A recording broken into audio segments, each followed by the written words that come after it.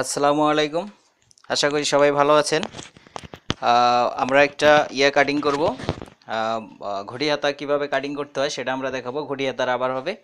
আর ঘড়ি হাতা রাবার আর ঘড়ি হাতা রাবার কাটিংয়ের আপনার হলো ঘড়ি হাতা কাটিংয়ের যেটা রাবার হয়, সেটা হলো সূত্রটা আপনার আসবে হলো হাতার মুহুরি থেকে। আর লংয়ের মাপ কতটুকু হবে সেটা তো নিয়েই নেবেন। আপনার হলো সূত্রটা আসবে হলো হাতার মুহুরি থেকে। তো আমাদের এটা হাতার লং হলো হলো সাত ইঞ্চি। আর হাতার মুহুরি হলো আমাদের এগারো ইঞ্চি। তো প্রথমে যে কাজটা করতে হবে, এই যে এখান থেকে এই যে, এই যেভাবে ইয়েটা দিয়ে নেবেন মার্জিনটা দিয়ে নেবেন। এই এতটুকু রাখবেন হলো হাফ ইঞ্চি রাখবেন হলো সেলাইয়ের জন্য। ঠিক আছে? হাফ ইঞ্চি সেলাই, আর আপনার হলো এই এক ইঞ্চি রাখবেন, এক ইঞ্চি উপরে হলো রাবার যেখানে লাগবে, ঠিক এক ইঞ্চি উপরে হলো আপনি রাবারের জন্য মার্জিন রাখবেন।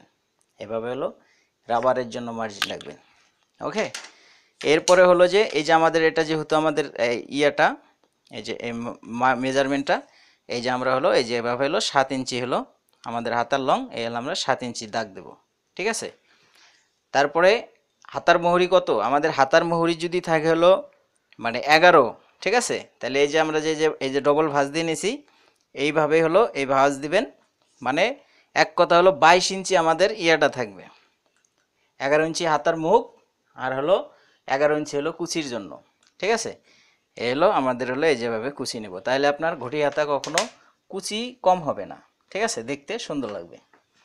এটা যখন হয়ে গেল, তো এরপরে যে আপনি যে কাটিংটা যে করবেন এত, এটা যেহেতু আমাদের মেন তো আমরা যেহেতু সেলাই মার্জিন রাখতে হবে, তো এই পর্যন্ত কাটবো। তো এই এই কাটিংটার সময় আপনার এই যে এইভাবে এই যে এভাবে, এই জায়গাটা সোজা করে আনবেন, সোজা করে আনবেন, ঠিক আছে? এভাবে মোটামুটি সোজা করে আনবেন যে কতটুক কাপড় আপনার বাড়তি।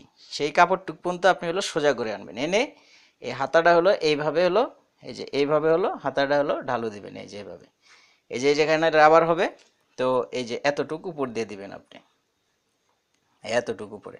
ঠিক আছে? মানে হলো পনেরো ইঞ্চির মতো রাখবেন। এই রাবারটার থেকে ধরেন আপনার মিডিল যেন থাকে, যে হাফ হাফ ইঞ্চি আপনার হলো সেলাই যাবে আর হাফ ইঞ্চির উপরে রাবারটা যেন একটু গ্যাপ থাকে।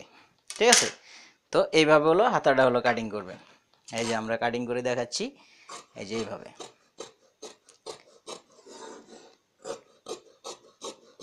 এই যে এইভাবে হলো, এই যে এইভাবে হলো এই কাটিং করবে। আর এখানে এতটুকু মার্জিন রাখবেন।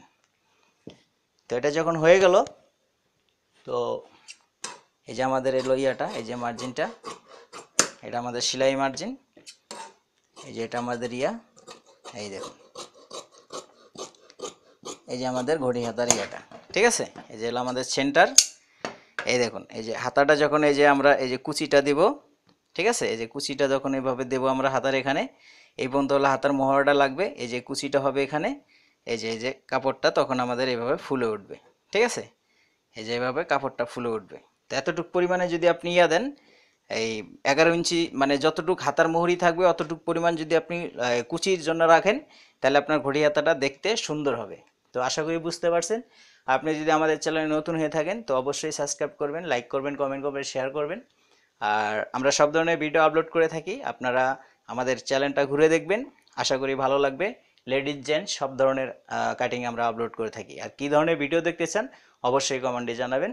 আশা করি উত্তর দেবো।